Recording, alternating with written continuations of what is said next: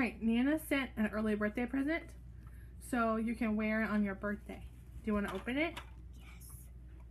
Yes. Say Yes. that. No, go back. Go back. You have to go back. Uh-huh.